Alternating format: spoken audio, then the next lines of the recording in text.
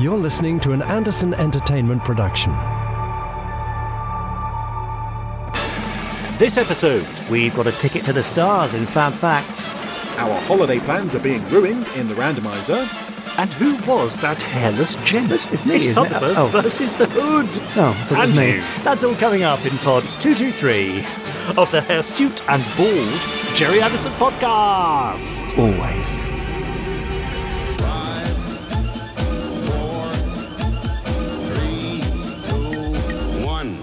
Let's get started.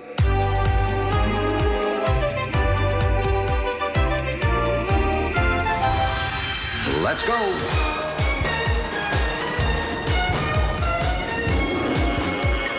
Spectrum is green.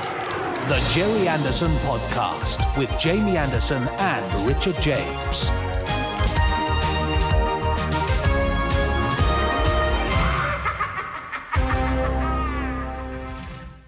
Hello, Richard.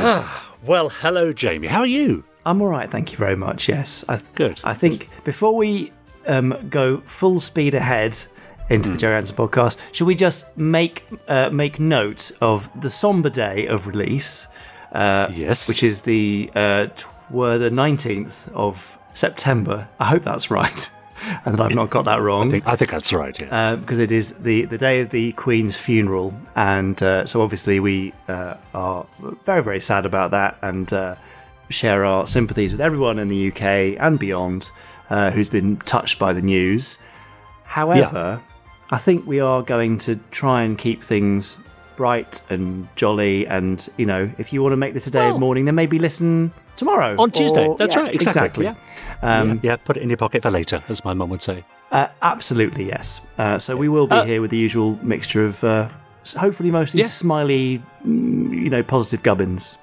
Well, two facts while we're on the subject of uh, Her, Her Majesty the Queen. Oh, yes. Uh, did you know that 94% of the world's population were born during her reign? Oh, well, that doesn't surprise me actually, because she was Isn't that extraordinary? reigning for a very, very long time. Indeed. And secondly, 30% of Brits claimed to have met her or seen her. Really? Yes, that's over 20 million people. Goodness me. Well, I'm one of those 20 million people.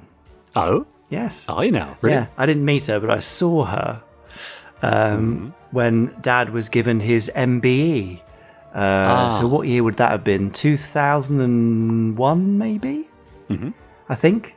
And we went to Buckingham Palace, and it was all very fancy. And you had to show her invites at the gates, and people going under the under the taxi with mirrors, checking for devices and all sorts of stuff. And it was a it was a very nice and fancy thing to do. Uh, and Dad was incredibly nervous about getting his MBE, about doing the wrong thing, and what was he supposed to Yeah, I say, and how was he supposed to Yeah. act. And Mum and I went and sat up in the gallery, and all the uh, people receiving their awards went off into a sort of holding area. And we sat and waited for him to be read out, and they read his name, and he came forward and stood in front of the Queen, and they spoke for Yeah. not very long, but Mum and I were trying to work out what was going on. And anyway, he was given his MBE, and he walked off up the red carpet, and I was just so desperate to find out what it was that she had said. You know, Yes. was did, did she ask about you know whatever happened to the Mysterons or Yeah. What about know, the second season of UFO? exactly were the inhabitants of Moonbase Alpha okay? So I asked Dad, and um, he arrived in front of her, and she said, "And what do you do?" And he said, "I make television programs for children." And that was it. there was no further Oh. comment. okay. Right. She put Not out a a- fan of Fireball XL5 Apparently then. not. She put out her hand, uh, which uh, was the universal symbol for "We're done here. Please leave." Yes. Move along. So there we go. So if you're ever wondering, Lovely. we're, we're not sure uh, if her late Majesty the Queen was a fan of any Anderson shows, but if she she was, she didn't certainly didn't nerd out on the day that Dad got his MBE. That's right. Ah, well, there we are. Now, uh, also, uh, I, we must really address uh, something. A couple of weeks ago in uh, our podcast, we did Must we? suggest, didn't we, that we that we had done 221 episodes. Yes. Uh, and neither of us had taken a sickie or a day off, and we've both been here for every single pod. Yep. Unlike the Nick and Benji show, where it seems they regularly abandoned post They did for their podcast. Yes. Well, then I became very ill. you did. Poor chap. very ill. Yeah, shivering and sweating in bed for four days. And uh, for a little while, I was thinking, well, I don't think I could do the next podcast.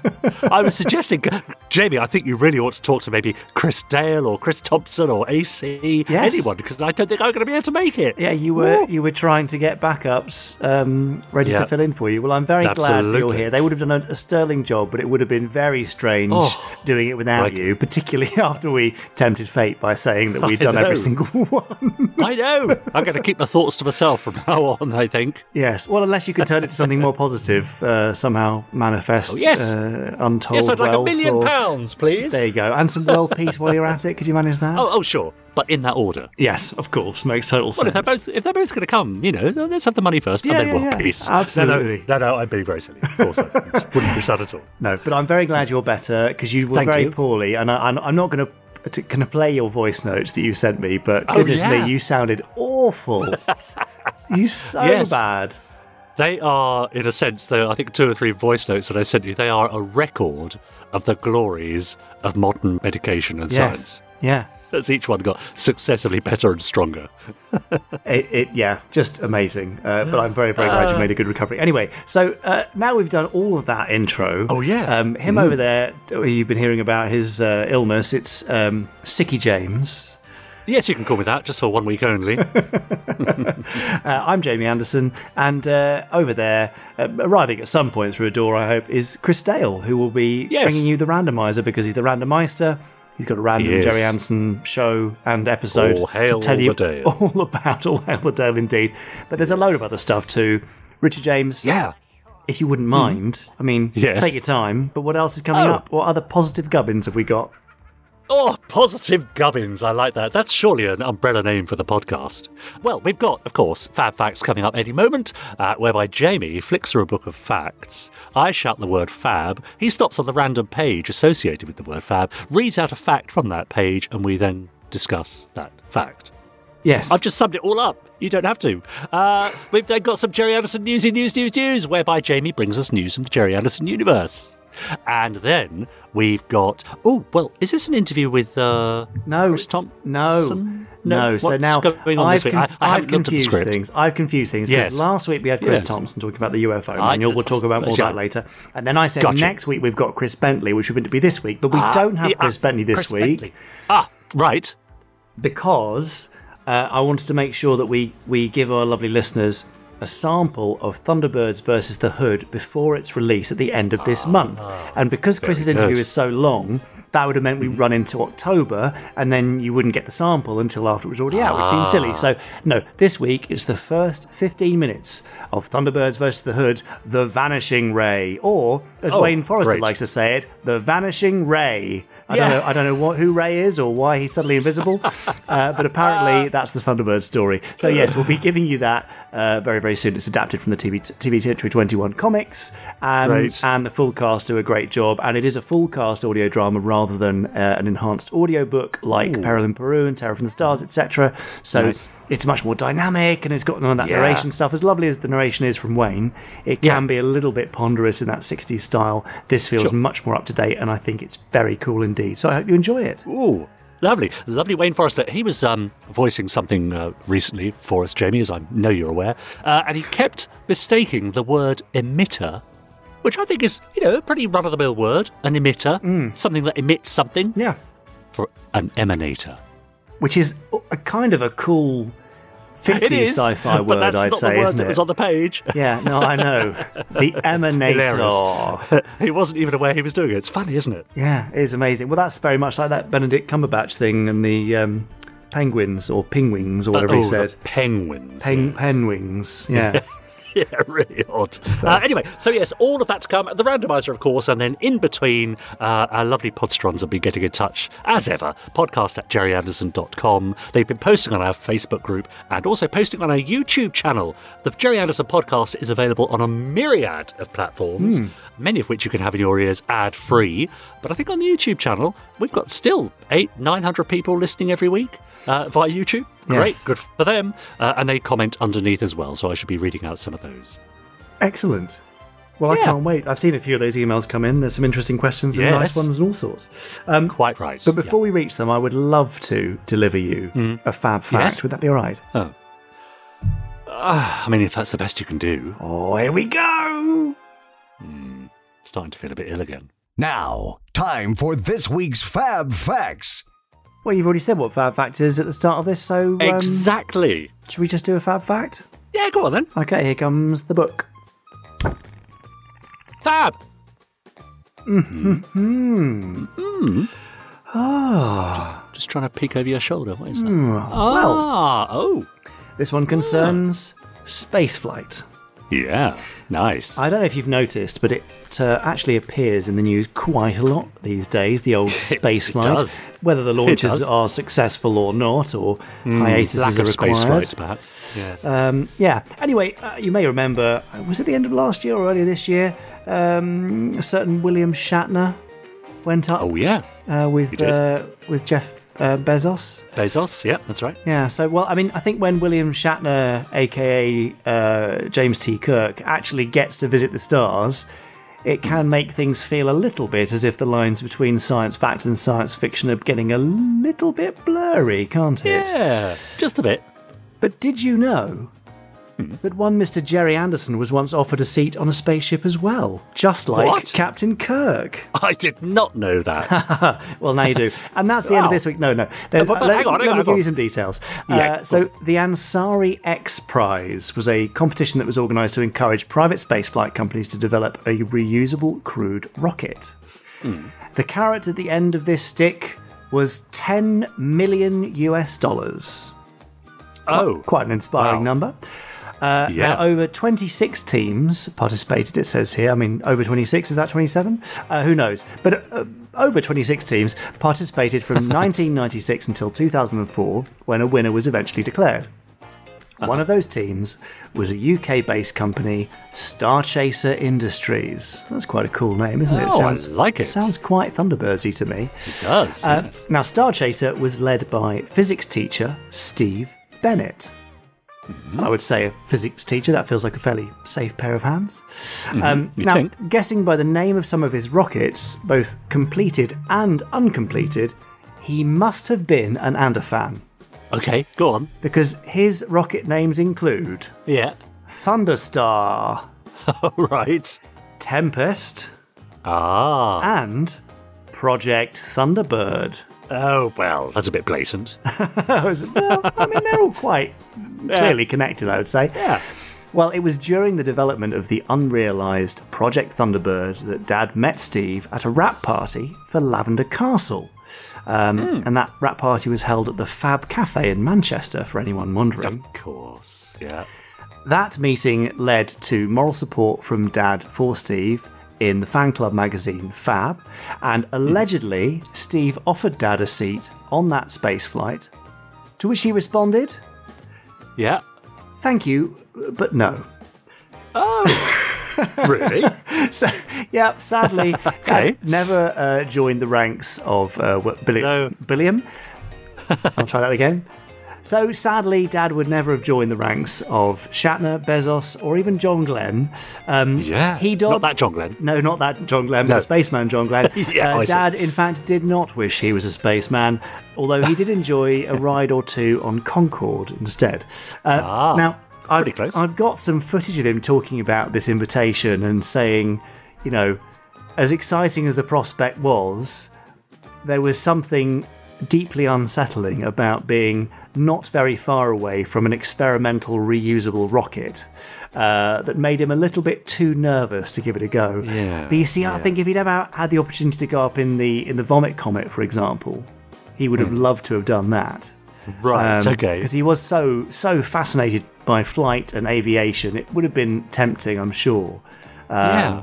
But I, I think the kind of experimental nature of it just meant it was one step too far for him. Uh, now, this is perhaps an indelicate question, but I'm going to ask it anyway, Jamie, because you know what I'm like. Nothing stops Richard James. Uh, no, upon your uh, on your dad's death, was there any consideration? I, don't- I don't even know how you would go about doing this, but to sending part, some of his ashes i- into space. I know there are other other people associated with, with sci-fi. I think Gene Roddenberry and certainly James Doohan have uh, have been sprinkled in the lower atmosphere. Yes, I, I mean it. There, there was a little bit of mention of it. Yeah. Um, but I think it, it just became problematic to arrange and that sort of thing. Yeah. Uh, Yeah. And, and I think actually his sort of final resting place for his ashes at Pinewood Studios is some somehow more appropriate yeah. um, than than firing him off into space. But I mean, uh, I can't remember the name of the satellite that was sent out a long time ago now. Maybe a Jupiter one or something like that. It'll come to me later on, obviously, once we've recorded this Fab Fact. of course. Uh, yep. But his name was put onto a gold disc that was sent out with one of the uh, one of the satellites that was launched out into the solar system maybe Ah, 15 20 years ago Okay. um, I'll have to look Wow. into that. And obviously, uh, our lovely friend Dr. David Parker from the European Space Agency has spent, sent Thunderbird 3 uh, up into the uh, the ISS. Yep. And we've also had Spacehawk from Terrahawks go into low orbit Yes. in a rocket. So, you know, Anderson Yeah, stuff has been out there, even if Dad Absolutely. didn't go up with Project Thunderbird, which was sadly never realised. Yeah. Uh, so I'm going to try and find uh, the clip of him talking about that opportunity, and we'll see if we can put it up on YouTube or maybe post it in the Podsterons Facebook group. Um, Yeah. But for now, I think that brings us crashing back down to earth very appropriately with the end of this week's Space fact. Oh, space rocket Okay, facts. yeah, yeah, that'll that do. works, doesn't it? Yeah, good. I'm, so- I'm sure we've had space fact before. How could, how could we reach pod number two two three of the Gerry Anderson podcast and not have had a space fact before? I've no But, idea. uh, yeah, there we are. Anyway, let's hand over to our lovely podsterons who've been emailing uh, in the last week or so to uh, podcast at gerryanderson.com. For example, uh, here's one from Dual Mirrored Gridwork who says, Hello, gang slash fellow podsterons, and both you dear and wonderful sirs. Oh, hello. quite nice, isn't it? Lovely. Yeah, great intro. Yeah, uh, Dual Mirrored Gridwork says with last week's pod, I just happened to see that every episode of Stargate SG1, uh, oh, sorry, rather, that very episode of Stargate SG1 recently, this is the one with the puppetry sequence, and I immediately thought of the influence of the Anderverse watching it. That makes me want to ask this question. Now, are you ready for this, Jamie? Yes. I've noticed with I did see this in Thunderbirds mostly, but I don't know about the other series that have them right offhand, that the male puppets seem to have a head or neck that is going into the top of the torso between the shoulder area, while Lady Penelope and other females seem to be a kind of a ball and socket where it seems the head rests upon a rod or something of that nature, somewhat the opposite that uh, to the male's head neck construction. Could you please explain the reason for this? I, I, I actually don't know the precise neck structure of the oh. puppets, but I do know that Do the no the female puppets were given a different neck structure in order to Yeah. ga- make them look more elegant, basically. Okay, yeah, Sort of men, sure. men's necks versus women's necks, essentially, and I can Yeah. kind of get that. You know, you g- would generally get a sort of a broader, wider neck Yeah, on a male character than a female, generally Yeah. Mm-hmm. speaking, you know, across the board. So that was all, I think, just to add to the perceived femininity of a puppet, essentially. Also, seeing as how as I'm, I'm a scale fanatic, I noticed that in the Anderverse scale chart that Chris Thompson did, uh, is the ship from Doppelganger facing backwards or the opposite direction of all the other craft? Which would be nice if it was. I don't actually know. Isn't that terrible? I'm going to go and look it up right now because I, I, if it if it is like that, I hadn't noticed, and clever Chris has done a clever thing, and Yeah, I and I in. haven't even noticed it. Isn't that terrible? Uh, also, is there any story or fiction that shows what the Mysterons really look like? I've got a picture somewhere uh, of them, and their look reminded me a bit of the Mechonoids from Doctor Who. well, then they're non corporeal, aren't they? Yeah, So, yeah. You can't- Apparently, this picture was from a comic strip or story. oh, there may well be. Yeah, I, I'm, yeah. I- who knows? I mean, with a lot of these things, you know, their physical or otherwise state kind of varied a bit depending on who was telling the story and where it was from, whether it was from the Yeah. TV show or the comic or whatever. Yeah. Uh, now, uh, yes, the dove from Doppelganger is the opposite way around in Chris's chart. Well done. Lovely. Chris. I can't believe I never done. noticed that. I, you know, I feel like I've let myself outed. down. Uh, I've let the company down. So Yeah. nice work, Chris, and well spotted. There we go. With ever loving fanfare for the Anderverse FAB, and that's from DMG. Uh, greetings and salutations, chaps, says Dominic Riley. I hope you're both doing well. Fantastic pod today. So, as some people may know, I'm a bit of an aircraft nut. Well, recently, while watching video of an aircraft taking off, I realised something that the engine sound of the Rolls Royce Conway fitted to the Vickers VC 10, the Handley Page Victor Boeing 707 420, and Douglas DC 840 is identical to the sound used by Fireflash and RTL 2 when they taxi. It's only taken me 20 years to realise this. I knew the Rolls Royce Derwent and Avon were used when craft began driving. Uh, diving rather, and the Hawker Hunter's blue note for aircraft flying past, but I never realised that the Conway was also used. Just a little factoid I noted. Keep up the great work, and that's from Dominic Riley. Nice factoiding. Yes, he's been getting his ears in, hasn't he? uh, now, this is quite a long one. Uh, I might save that for a bit later. Hello, Rich and Jamie, says uh, Simpsons Clips 24. You thought you could escape me, he says, but here I come with another and a wrong. Yes. Another one? This is where people keep getting things wrong about Gerry Anderson. Uh, Simpsons Clip says, I will say now that no maliciousness is intended here, but this one is aimed at a certain Mr. James Lionel Anderson. Never heard of him. Having listened to some previous editions of the podcast, I've often felt a twinge of cosmic angst whenever I hear Jamie say that Lavender Castle is a preschool show. Now, for starters, I highly doubt that a preschool show would contain episodes like A Stitch in Time, or in Friends terms, the one where everyone gets killed but it's undone, or The Collector, the one where the ship's robot finds a mummified body. That would be like putting the Space 1999 episode Dragon's Domain on CBeebies. Now then, Jamie, how do you plead to committing this and a wrong, guilty or not guilty? Yours lawfully, Judge Simpsons Clips 24. Well, I know what you mean. Yes. uh, and I will enter my defence thusly. Yes. Generally speaking, preschool sort of means three to six in broadcaster terms. And Right. sometimes they'll even call it bridge school, which takes you up to seven or maybe eight. Okay. So preschool thing can appeal to people who go to school. Yeah. Um, and I suspect also in 99, uh, when Lavender Castle was out, the Ofcom rules were a little bit looser. And equally, because Sure. they're fantasy characters, you can get away with stuff that you couldn't do with humans. So, with the Dragon's Domain parallel, you couldn't do that on a kids thing because it's affecting humans. So it would be therefore seen to be more um, more visceral and uncomfortable and grim for a kid to watch. yeah. However, I do agree with you that it, it does go above and beyond what would typically now be called preschool. Um, Yeah. And it, that kind of fits with most Anderson stuff, really, where, you know, if you call Thunderbirds a kid's show, it goes far above and beyond that, except. That's right. that everyone would probably say, well, it was meant to be, even though it, was, it was actually watched by multiple generations. And that's part of the Anderson appeal. So you've hit on something there. But I. Very think, good. can we agree to disagree? I rest my case. I'm agreeing to it. Uh, Penquilla finally says, Hi, Jamie and Richard. I'm aware that there are various exciting projects happening at the moment in the Gerry Anderson universe. I've just received notification about the new Thunderbirds versus the Hood audio. But I hope this doesn't mean that you've abandoned the idea of publishing the other three Theydon Thunderbirds novels Lost World, Ring of Fire, Albanian Affair. I don't mind having to wait, but can you please confirm that we're still going to get them? It's been great fun listening to the first three in the series. Keep up the good work from Penn. Well, Pen, excellent question. Um, So, I was trying to explain this to the team internally the other day. In the same way that Big Finish, if you know of uh, Big Finish's work, do Yes. various different iterations of their Doctor Who stuff, different threads. Yeah.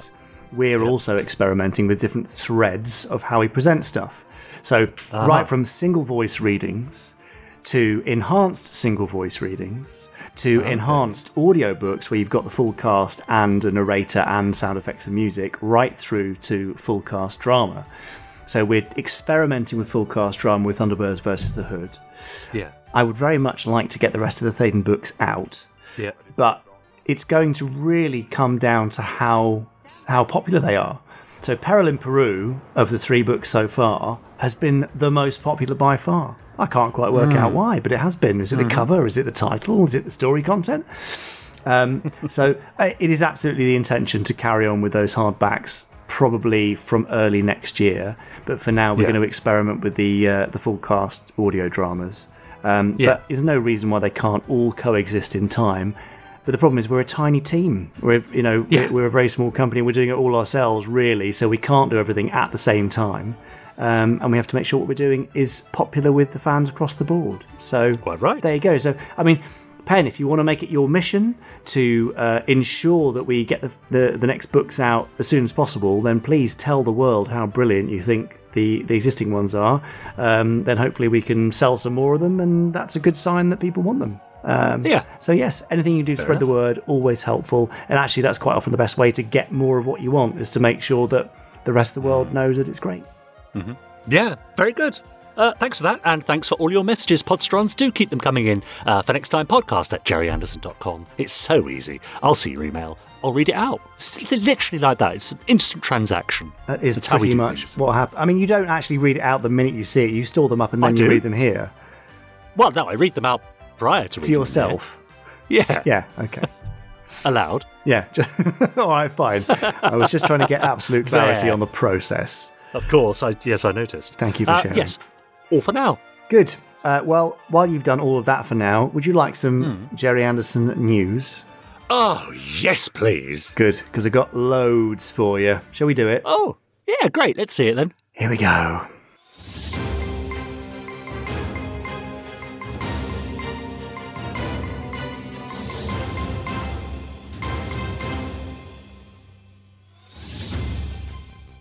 Yes, it's the Gerry Anderson news. Newsy news, news, news.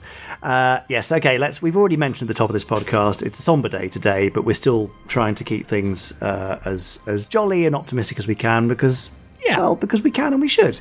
Um, Yeah. But just in case you've noticed, we have, as a mark of respect, changed all of our logos across social media to black. Um, Uh-huh. That's our little nod to to Her Majesty, um, and we'll be changing them back to red uh, later this week, back to normal colour. Oh, but we didn't want to make a big thing because I fe- I feel like almost making a huge thing of it and doing lots of posts across social sort of makes it about the, the brand or the company. I agree. We just wanted to do a little gentle hat tip and a kind of a thank you, mom, sort of uh, symbol. So there you go. That's why all of our logos are black, in case you're wondering. Ah, yes. Now, let's move on to some news. Last week, I do hope you managed to join us for the Space 1999 Breakaway Day special Oh, yes. live stream. Didn't we have a That jolly time? Richard was all uh, Yeah. excited wearing his uh, his tunic. Like Koenig. Yes, absolutely right. yes. Absolutely, and- giving giving the full Koenig as they call it. You were indeed, and obviously that heralded the fantastic news that we have more Koenig tunics on the way. Um, and I, I think I said that they'd be in for the end of the month, but I think they might even be in this week. Uh, oh, you will also have seen that day the Breakaway Day Special Edition t shirt. Today is the last day to order that if you want this year's Breakaway Day t shirt. Um, it will be switched off and unavailable from tomorrow morning. That's uh, the uh, 20th of September. Uh, so you've had a full week to grab that.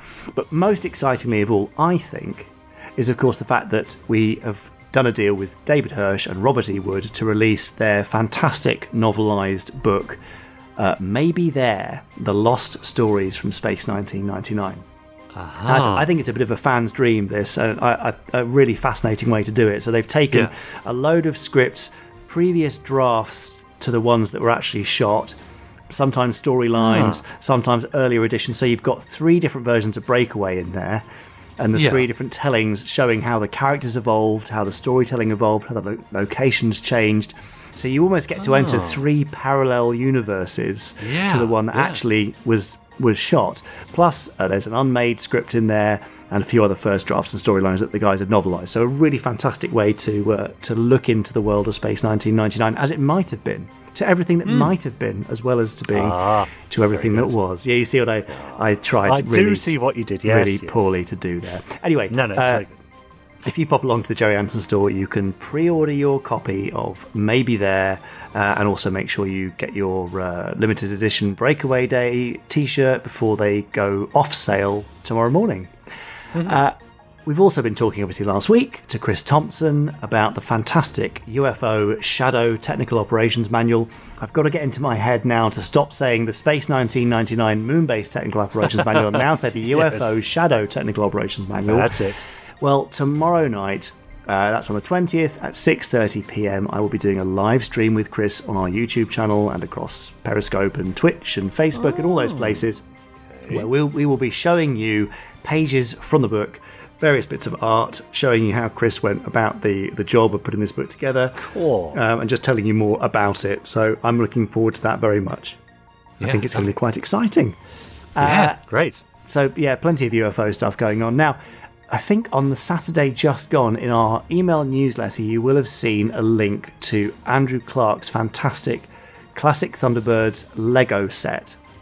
This is part of the Lego Ideas thing, and a couple of years ago, Okay. they got all the way to the finish line with this, with 10,000 votes, but there was Yeah. some confusion, I think, as to whether it was Tag, the ITV animated Yeah. series in 2015, or whether it was Classic. And so that then caused some problems at Lego HQ, I think. I'm just reading between the lines here, by the way. There's no, this is, nobody said this to me.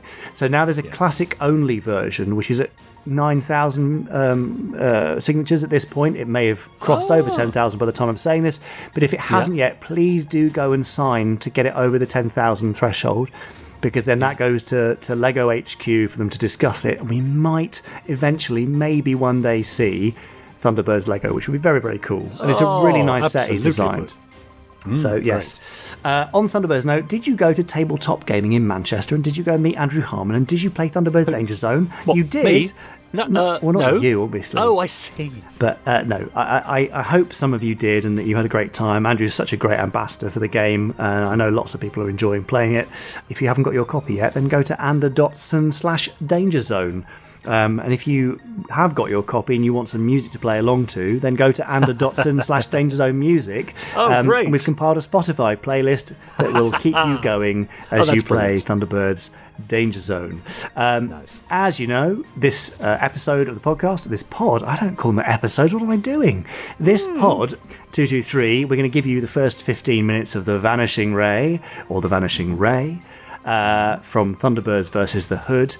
They're two 44, 45 ish minute adventures, so very close to the original series in length, full cast audios, and that is going to be shipping on Thunderbirds Day on the 30th of September this month. So we've only got, Lovely. what, 11 days to go? Yeah. Gosh. You and I will also be doing um, a Fab Live, live from Yes, the. Moxy Hotel in Slough. Yeah. Mm-hmm. Um, so if you're in the area and would like to come and join us for a drink and uh, maybe be a little part of a live audience on the night, Yep. wouldn't that be fun? We'd love to That'd see you there. Yes, do Yeah. Mm-hmm. pop along. I think we're live from 6.30 on the 30th of September. so that'd be great. Uh, and on a Thunderbirds theme, but not a Thunderbirds theme directly, this Friday it's the end of the road. Get it? For Yeah. uh, over a hundred designs, t-shirt designs on the store. We are having a Ah. Big, big clear out. Um, Yeah. So these, there's I think actually 120 something, 126 designs, which are all Nice. going. Uh, they will be no more. So only available while stocks last, or until we switch things off, uh, which will be at the end of the month. So you've got Okay. about again about 10 days from Friday to pick up these designs before they go, probably forever. So uh, don't hold off. Anyway, there's No, loads more stuff would you? going on. There's lots more things, and October's Yep. looking uh, bonkers brilliant too. Is it? Um, Is it? yes, yes. Oh, can't wait. Well, and we, you know, we've got things to talk about and announce very shortly as well. Oh, haven't yeah. So Yeah. Anyway, let's do that maybe next week or the week after. But for now, that's the end of this week's Gerry Anderson news. That was the news. That was the news. I just why did you go up at the end there? I was trying to provide a bit of variety, and then I thought, I bet he's going to riff on that, and you did, and it was beautifully done. It really felt like someone's Nothing record player was broken. that wasn't the intention, but okay. It was brilliant. Now, uh, are you on Facebook? no, if you were though, Yes. and you were of a mind to, to join a very friendly Gerry Anderson related community, Hmm. might I point you in the direction of the Gerry Anderson official podcast listeners group? yes, I'd be there immediately if I was on Oh, Facebook. great. There we are. Uh, now, I've been looking at their posts recently, and I thought I'd make a note of a few of, the, of a few of them. Uh, this one's from Gary Hodgkinson, who said, "Very enjoyable pod this morning. Really enjoyed the long overdue interview with the very talented Chris Thompson. I know, I Well can't believe that was our first one. Isn't that bonkers? Yeah, yeah, yeah. Says I'm looking forward to seeing the uh, UFO Shadow Guide. The rest of the pod was fun. Can't beat the Fab Trio and Chris Dale's randomizer first thing on a Monday morning. Lol. Yeah. Read. Uh, David Hollis said, I just got to the end of this magic three part story. This is referring to the UFO audio uh, adventure. In some ways, it's one long story in three parts. It is.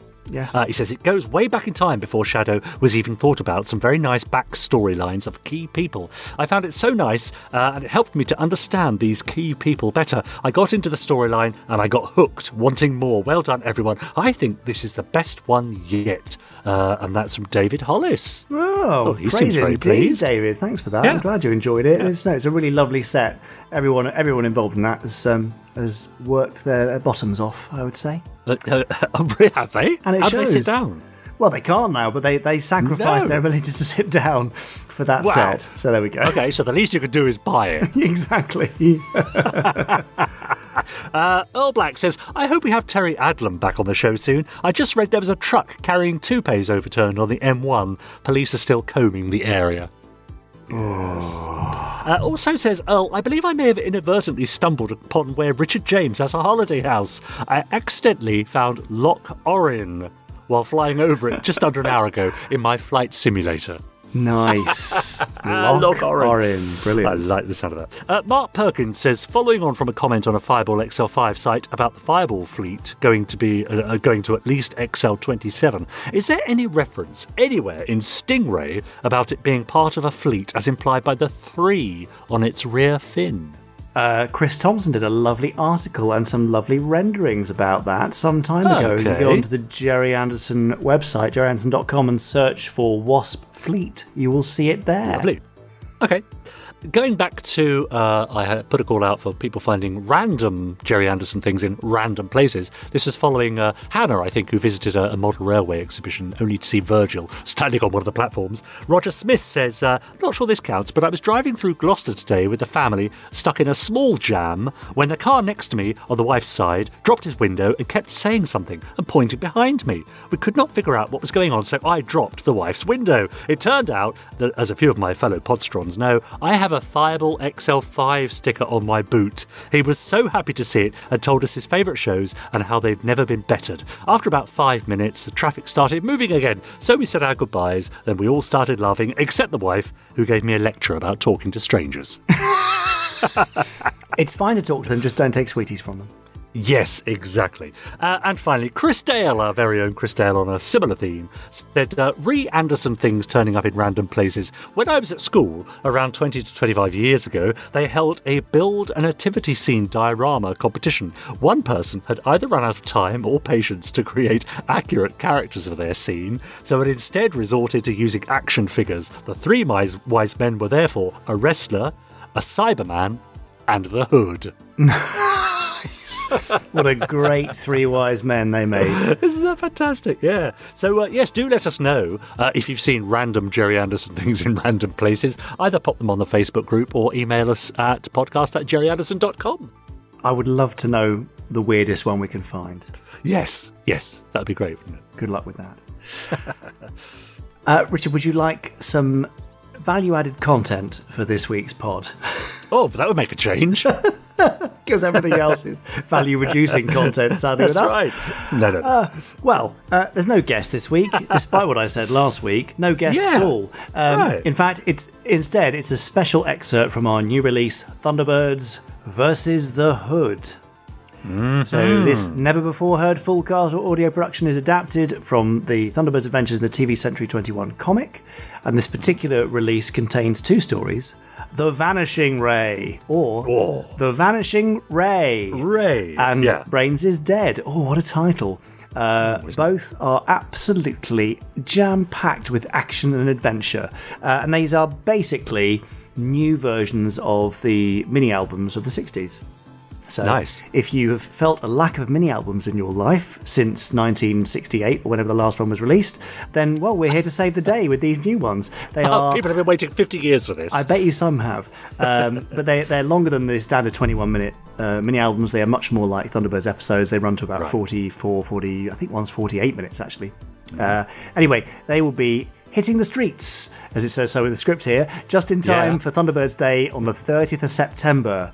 And if you do pre-order them, then I will I will work very closely with the team, and Tim and Louise will do their best to look after you to make sure that they arrive with you before Thunderbirds Day. I can't make any promises, Oh, but that's what yeah, we will be doing our best to help you with that. So stand by for those. Uh, I'm very excited to hear the first 15 minutes of The Vanishing Ray. yeah. Well, here we Go go. on. I'm pressing play now. All right, press it now. Ka-chunk.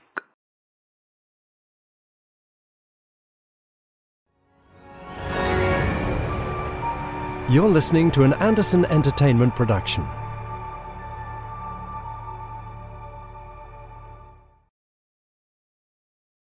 This release is dedicated to the memory of Matt Zimmerman. Matt was the original voice of Alan Tracy and of many guest characters in Thunderbirds. He was a great talent who was always happy to share his stories with fans, and he'll be sadly missed. Five, four, three, two, one. Thunderbirds are go. I believe that 1 is arriving now, milady. Do hurry, Parker!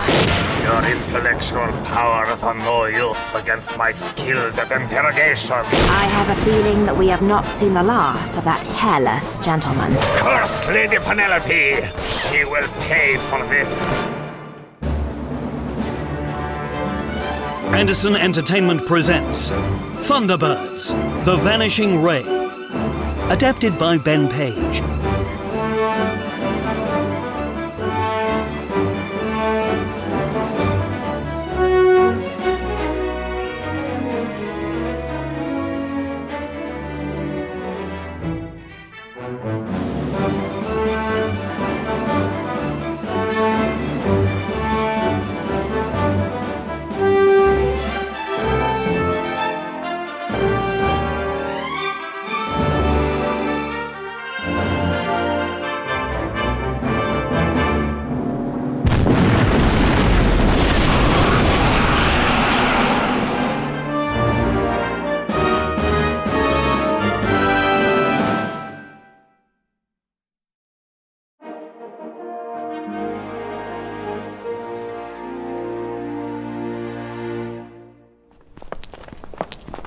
And so we believe that the helmet unearthed at Sutton Hoo belonged to King Raedwald, though it seems we will never be able to know with absolute certainty. Wow. Look at that. Wow. But if there are no more questions, please follow me.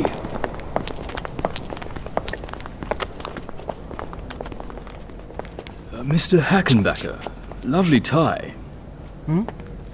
Hackenbacker? Oh, oh, yes. I'm Hackenbacker. Uh, the name's Steele. I understand you have something of a scientific nature that may be of interest to my uh, department. Yes, uh, yes, I do. Uh, Thank you for meeting me. Uh, It's here, uh, in this briefcase. How the devil did you get it past building security? I'm sorry to say it wasn't too difficult. I suppose not, for a man of your qualifications. All right, Hackenbacker. What is it we're dealing with? Perhaps it would be best to show you.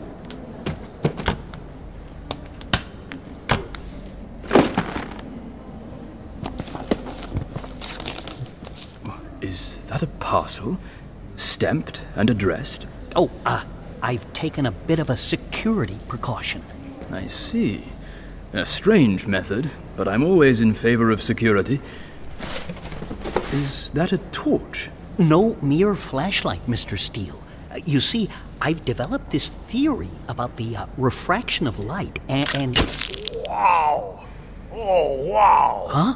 What? Uh, is this man with you? I- I'm afraid not. Would you mind uh, taking my picture? Uh, listen, we're having a private conversation here, so if you don't mind. Oh, oh, oh, no! Uh, you're no tourist. Indeed not, my cerebral friend. Oh, I am something of a photographer. The parcel, hand it over. Your face! It's a mask! Oh, oh, no! No! Stop!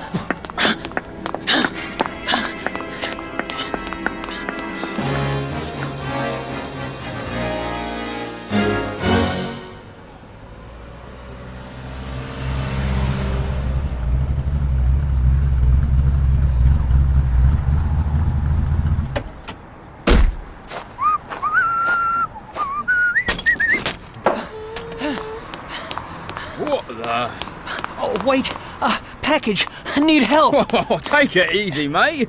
You've got something to post, eh? No need to fret. I'll see to it this goes out today. You can rely on Royal Mail, sir. I need help. Have a nice day.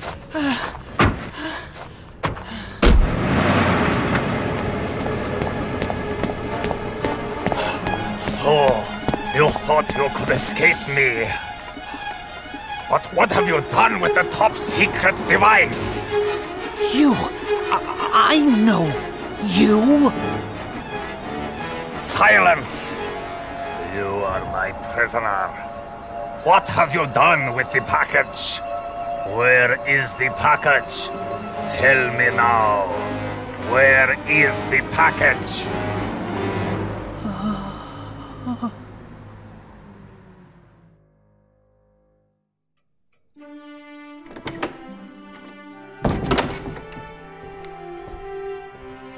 Pardon, milady. There's a package for you. Thank you, Parker. Hmm. No return address, I see. I'm afraid not. Shall I open it for you, milady? Please do. Perhaps it's from a secret admirer, but all the same, use caution. Very good. It appears to be a torch, milady. There's no message. Strange gift. I don't suppose that it might come from one of your secret admirers, Parker.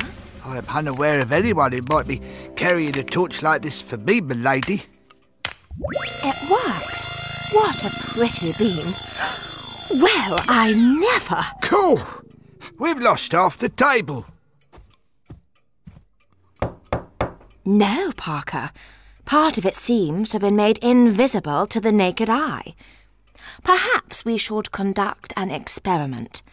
Do you think that Lillian would mind if we used some of her tea biscuits? It seems as good a use as any, as they're hardly edible, milady. Watch this. They've blinking gone. What is it, milady? A disappearing ray, Parker. Scientists have been trying to perfect something like this for years. Pity Brains isn't here. This sort of thing would be right up his street.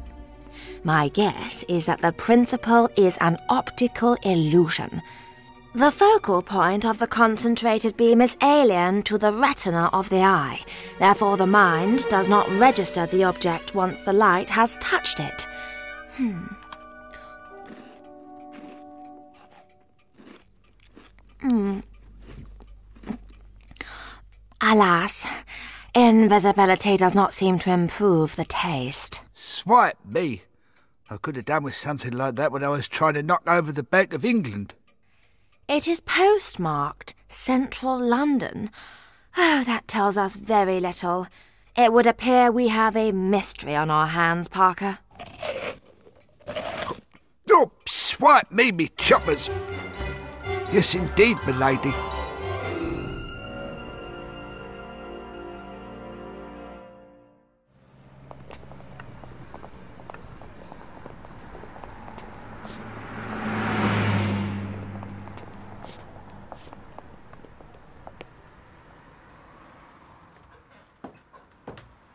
Clearly, he was no tourist at all, sir.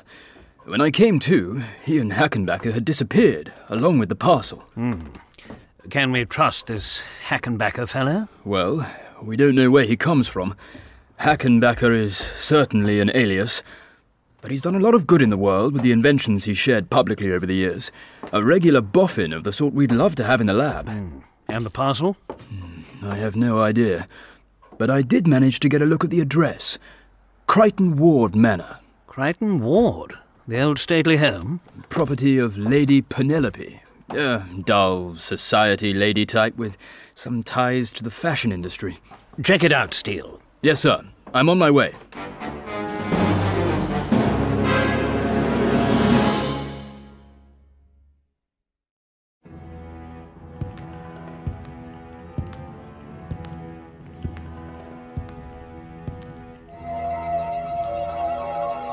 No! Stop! Uh, uh. Excellent! Your intellectual powers are no use against my skills at interrogation. You may be the brains at International Rescue, but here, you're just putty in my hands. You. fiend! Go ahead and sleep, weak fool. You've told me all I need to know. An invisibility ray. I must have it. I would be invisible. No more disguises. The perfect cover. I will pay a visit to Creighton Manor, and I will get this ray. Even if I have to kill Lady Penelope to get it.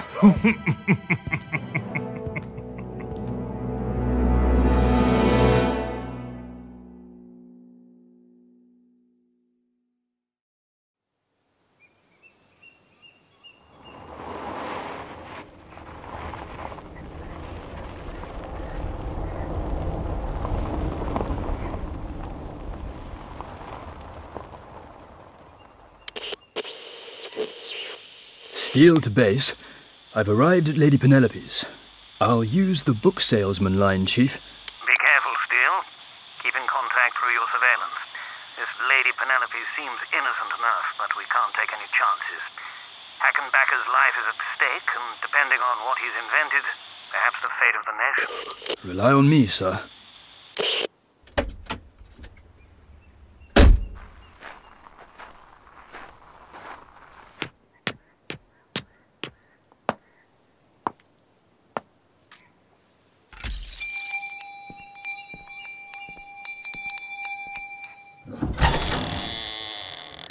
Uh, good morning.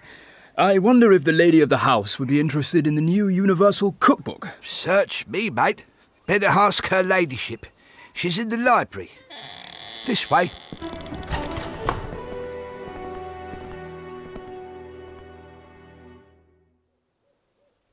It's awfully good of you to call, but as you see, I have every book on cookery ever published. Hmm. I haven't made a sale in weeks. Oh, you poor man. Come into the drawing room and have some tea. Have a seat. I'll just ring for Parker.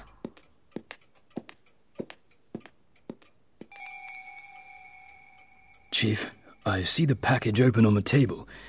The item appears to be a torch.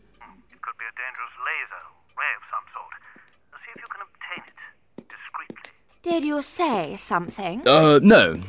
Thank you for your kindness, Mum. On second thought, I shouldn't stay for tea. Nothing will help me feel better like making a sale or two, and I have a feeling it's going to be easier than I thought. Ah, well, I understand. It's been a pleasure. Drop in any time you're passing, and good luck. Thank you. Uh, goodbye. Goodbye.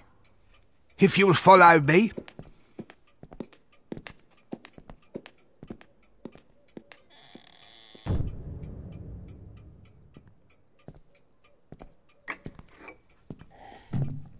Well, he certainly was a shrewd one.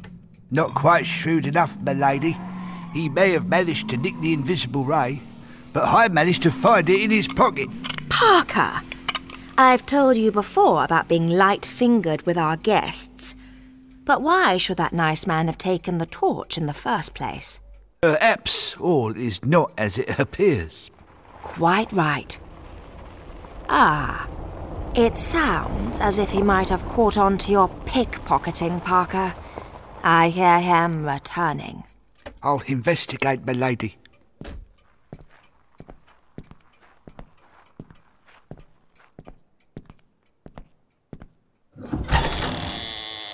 Bexo soup. Oh, beg your pardon. Good morning. I wonder if the lady of the house would be interested in the new uh, Universal Cookbook. Eh? Not another one. Oh well, you better come in.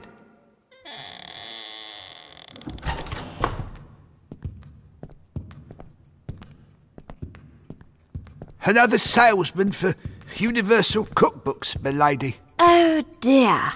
As I've just informed a colleague of yours, I have no further need for cookbooks. I keep a complete collection. Too bad Lil never consults them. Oh dear. I am so sorry to have disturbed you. Not at all.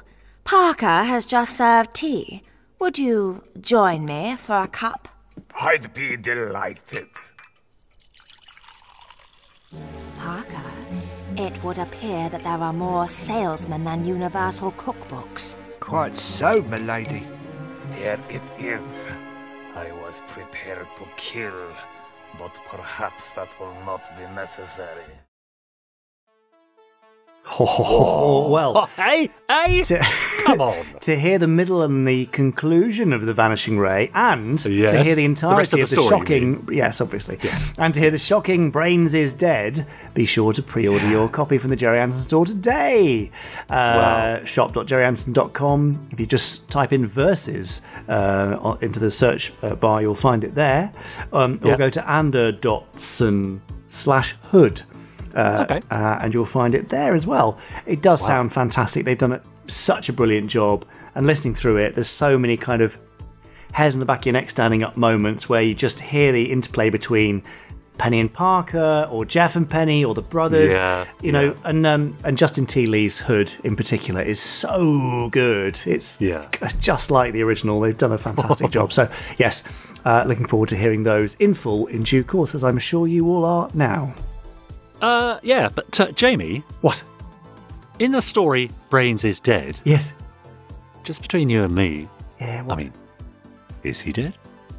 Well, that's what the title says, but you'll have to listen to find out, won't you? Oh, I thought you'd just let slip a little, you know. No, Is I he- mean, it's a great title, but I couldn't possibly is. say what happens in the end. All right. Uh, now, over on YouTube, uh, Yes. people have been commenting beneath previous pods and also our Fab Facts, which is also posted there separately. Uh, for example, underneath uh, the Fab Fact about the unmade episode of UFO uh, that was on a recent podcast, Eamon McDermott posted, It's a great shame. I've just finished rewatching my complete set of UFO, and it really deserved at least another couple of years, in my opinion. You feel like you're just getting into the mindset of the UFO world when you're cut off, leaving you with so many unanswered questions and so many possible storylines to develop. It was the unhappy endings of a number of episodes that lifted the whole concept of UFO and set it apart as superior to other sci fi shows at that time. I'm not sure I'd be interested in a remake. For me, Ed Bishop was the boss, aided and abetted, of course, by his brilliant co stars. Fair enough, Eamon. Absolutely. no, I know what you mean, though. There's there's a yeah. certain tone to it, which is um, it's it's Yeah. very specific to that show, isn't it? Yeah. And it's true, it does, it does, you know, we do sort of feel bereft having just the one season. Yeah. You can imagine it having run and run, but, you know, obviously other things happen in the world and just wasn't to be. Uh, John Smith says, I think. uh, more. Indeed, true enough. John Smith says, I think the Patriots storyline and plot sounds really interesting. A UFO crashing in Africa, then an alien held hostage definitely should be tried as an audio story, and maybe a film, providing it holds true to the original idea, sort of outer limits, but with a decent budget. Yeah, that would be nice. Yeah. Yeah. Uh, Zippalitra says, I'd love to know what other unmade episodes there were of other series, such as Thunderbirds or Captain Scarlet. Wasn't Series 2 of Thunderbirds meant to be the same length as the first, but got cut down to six? Surely there's got to have been another lot of scripts submitted for the remaining unne- uh, unmade episodes, right? Oh, Possibly. Maybe. Are they out there? I don't know. Uh, finally, for now, Tom Senior. I was a little too young for UFO when it was first broadcast. I loved the effect, uh, very Anderson. Unfortunately, I simply could not understand the more adult themes. It went over my head. Frankly, the show was very scary. And when UFO was repeated decades later, I had already bonded with Space 1999, and there was no going back. Shame, really. UFO looks amazing today, despite the silly costumes and those blooming purple wigs. And that's from Tom Senior. Yeah, fair enough. I mean, I've got a blooming purple wig right next to me right now. Nothing wrong with that. No, Yeah, it's very rare that I wear it. I'm very not not on Moonbase that often. You see. So. Yeah. Uh, so there we are. So you can find previous pods on YouTube, of course, or you can listen to us on a variety of platforms. But if you do, why not leave us a review or a rating or a revating? Five stars, if possible, just to tickle the algorithms and let other people know that we are there. And you can also, of course, uh, copy and paste our link to on uh, your social medias, uh, so other people. sure? Can, yeah, I think so. Uh, they can click the link. They'll be taken straight to the Gerry Anderson podcast, and they'll have the time of their lives. Yes, of course they will. Of course Um, they- And if you want an easy to share link, then my Oh, yeah? favourite one is gerryandersonpodcast.com slash listen because then it gives you a page Oh. that links out to Apple Podcasts, Google Play, and um, uh, and Spotify, I think. So all the links are in Great. one place. How's that? Yeah, perfect. Yeah. Great. Mm, Like it. Mm, good. Mm, excellent. Yeah. Anyway, we come Hmm? to that stage, haven't we, in the podcast? I think we might have done. Where everyone breathes a sigh of relief because the bit they've been Yeah. waiting for is finally here. No, it's not the Yeah, end. that's right. It's the bit No, no, before no. the end. Yeah. It's the randomizer. Oh, what's on it this week? What a great noise. Well, it's random, Richard, so we don't know until, That's until true. Chris presses the big red button on his randomizer and displays a random episode on the randomizer's printout. Uh, and he watches it and says things about it. So let's hope it's a good one because if it's not, well, there's no one to blame because it's random. So uh, here is Chris Dale, the randomizer, with the randomizer.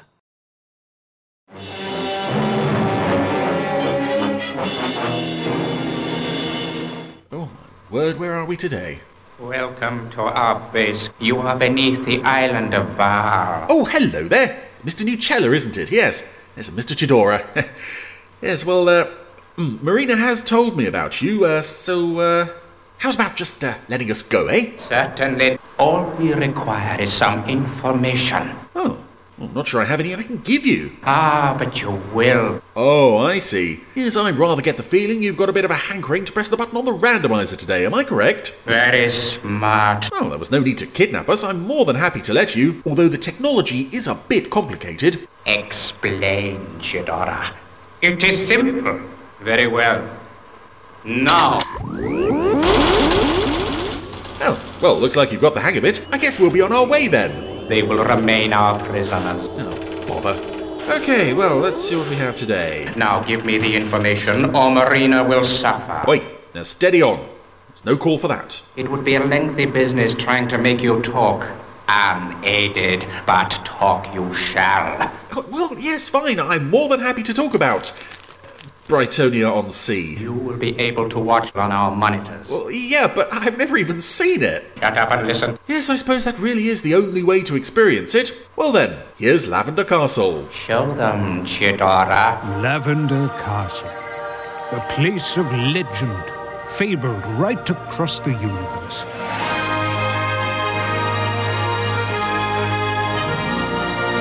This is our quest to find it. So, welcome back to the randomizer Lavender Castle with Brightonia on Sea. And uh, for those of us who, uh, who or th- those of you, I should say, because I know, and a lot of you know, that um, this is not a show I have ever sat down and watched all the way through. I've only seen this on the randomizer.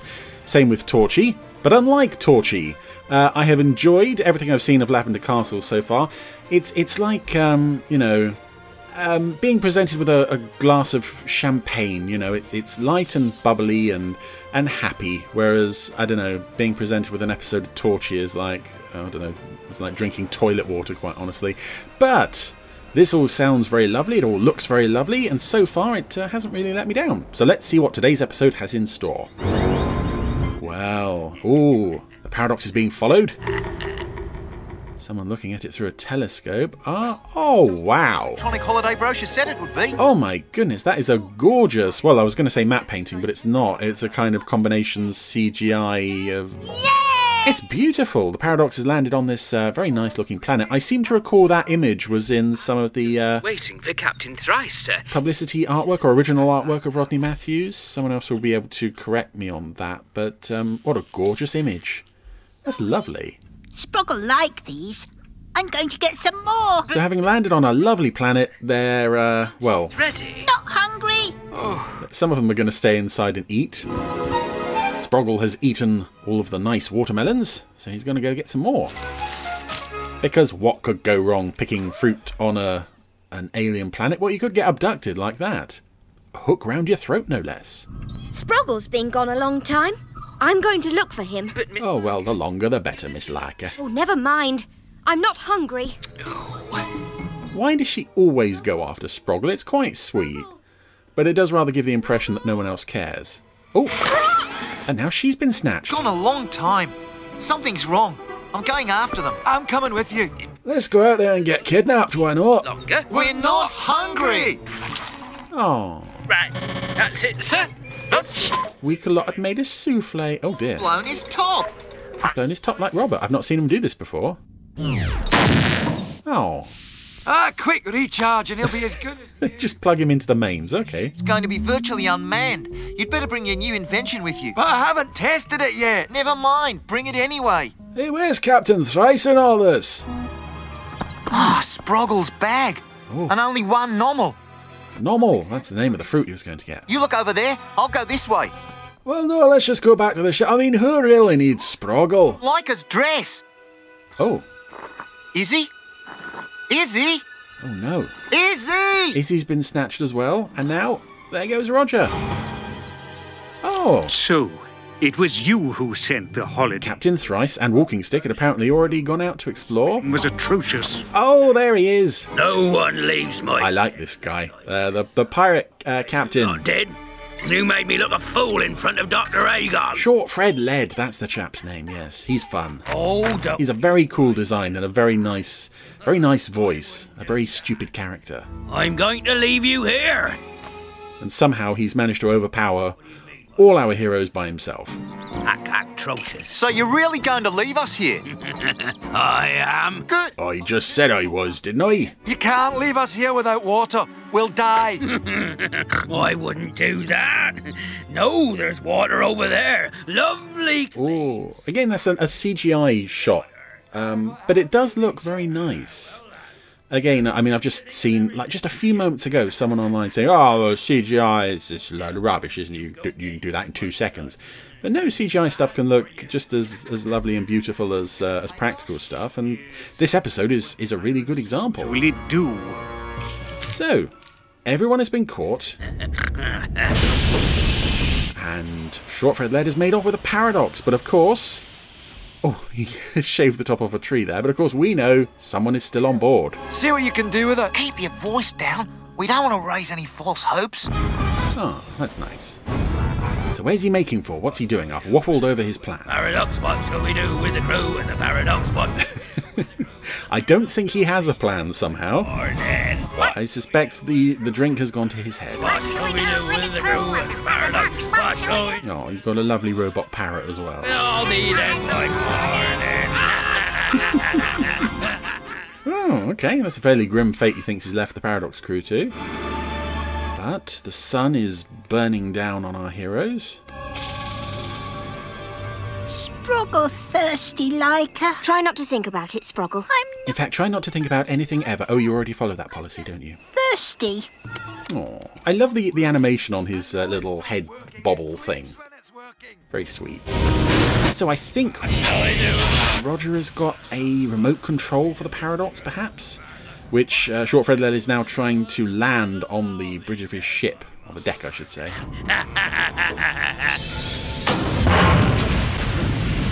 Kind of down. Yep, he's down.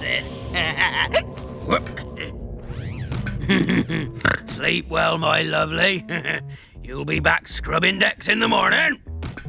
He called me. It's lovely. Yep, Squeakalot is uh, almost back to, to charge. He's just standing in the corner staring at his um, It's no use. Collapsed souffle. Ah, that fixed it. It's working. It does work. I said if you just throw it on the floor, it'll start working. I reckon you cooks a good meal, Squeakalot.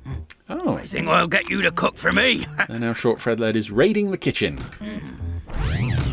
Huh.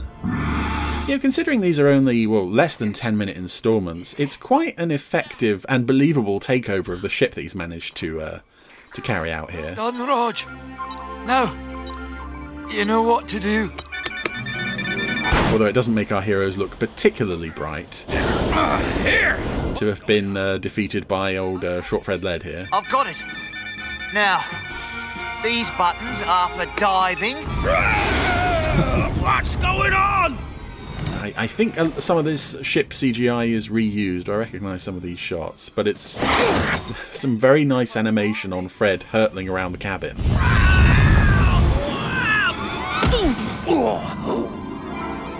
Was a bump to the noggin. Speed for rolling!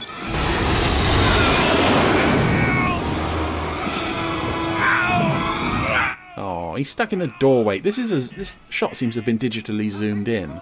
Doesn't look as crisp as the uh, the other shots around it. So somehow Roger is gonna.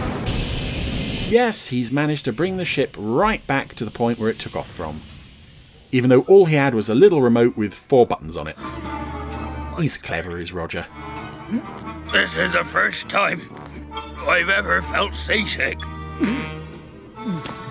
Oh, gosh. Oh well. Vomiting. There we go. You don't often get that from a Gerry Anderson character. Uh, now, hand over the. Not on screen, but uh, clearly there was audio to suggest he was uh, doing it off screen. I believe that in true pirate tradition, the loser of a battle um, walks the plank. Oh, I love the way Thrice is standing there with his, the fingers of his hands sort of steepled together. He's very polite. So, that's it. Oh, no, they're making him walk the plank. Who's going to have the courage to push me off, eh? Oh. oh, yes, that's right. Tilt the ship. Of course, he wasn't the first Anderson pirate to walk the plank because uh, Captain Goat did that as well. Thank you. Squeaky just chucked a. Was that a vacuum cleaner? What was that about? I don't know what that. I'll get him next time. It's funny, nevertheless. Spelling's atrocious. Let's see. Atrocious. Ah. T. No, it's aw. T. Well, Short Fred Led got what he deserved. Now, Another episode appearance on the series. In Brightonia on Sea. All those in favour, say aye. Aye! Aye! Oh, Sproggle had some cool shades. Um, well, it's an odd note to end the episode on, but I'm fine with it because overall that was another enjoyable episode of Lavender Castle. I, as I said, I'm not familiar with the show, so I don't know how many appearances Short Fred Led made. I know we've got at least one more, but I somehow get the feeling that he was seen less often than Dr. Agon, but he's always great fun whenever he does turn up. Some very nice visuals actually of, of this this planet. It was just lovely to look at. So, you know, maybe it's not great not not too many great moments for our heroes, but some uh, lovely villainy from a very fun villain in Short Fred Led. It was another very good episode of Lavender Castle. Oh, it's so cute, isn't it? Fun, fun, fun. I just love that theme nice. by Crispin Merrell. It's so lovely. Yeah, he's a clever chap. Very fantastical it is. Um, And there we go. I mean, a little kind of in jokes of Brightonia on sea. I mean, it's very kind of um, Yeah, it is rather, isn't very it? Bit on dad sense of humour, actually.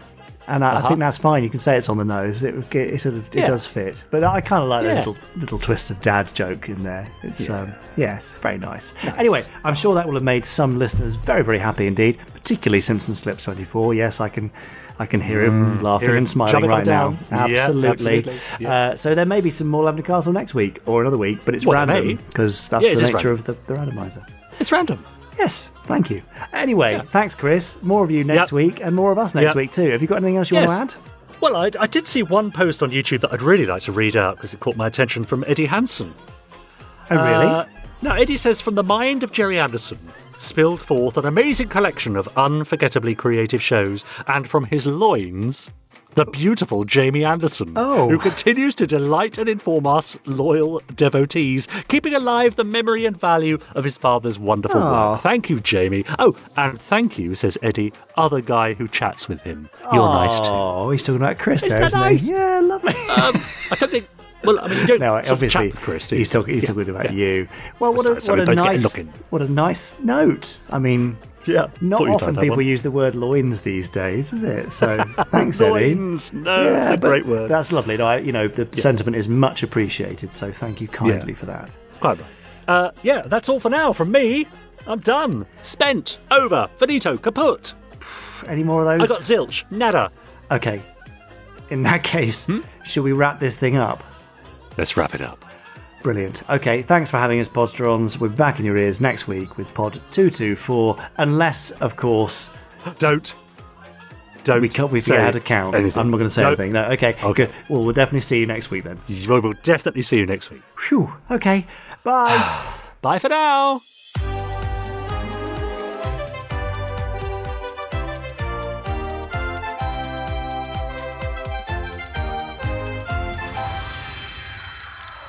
One complete. Let's go.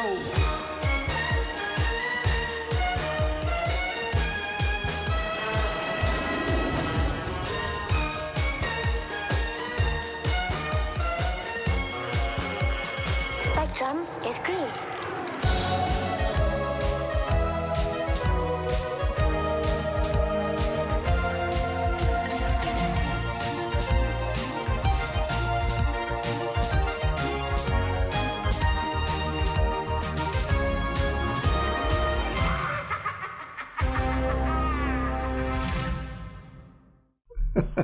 Tempting fate there, Do almost. not- don't don't tempt fate. Well, it's your, Everything's fine. It's your fault. You should have. I know, um, I know. you Everything's fine. You should have not got not got poorly last time. You silly sod. Uh, out of interest, how far did Benji and Nick get into their, their run before Out one of of them interest. decided? Yeah.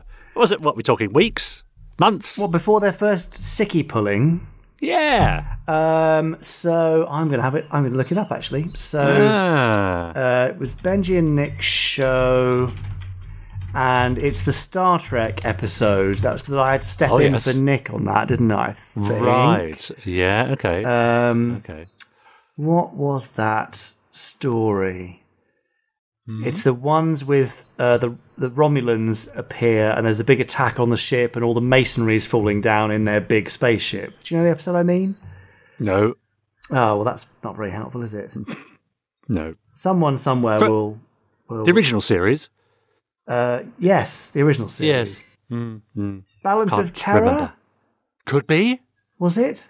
I- mean, it could be. Sounds like a Star Trek episode. Possibly. Anyway, it, it was. Yeah. It was at some point. Uh, Right. Twenty or so, twenty-five episodes in. Uh, was that really? Yeah. So ten percent of our run Gosh. before Briggs pulled a sickie. Mind you, it's just like him, isn't it? I know. He's such a diva. Probably just broke a nail or something. Yeah. yes. Exactly. No, I think actually he was quite poorly. Uh, Oh, fair enough. Yeah, no, so I shouldn't be. I shouldn't be mean. But no, we're we're going to soldier on, and we did this, and uh, yeah, well done us. Good. Uh, hadn't you better go and feed the uh, cockerel? Yeah, he's crowing very loudly, isn't he? He is. It's not even the Yeah. one that does the uh, stingray impression. It's a different one now. So Oh, yeah. Oh, well, good. yeah. All right, I'll go and do that, and you tend to your Yeah. animals, and I'll speak Thanks. to you soon. All right. See you later. Bye. You have been listening to the Gerry Anderson Podcast. Wasn't it fun? You have been listening to an Anderson Entertainment production.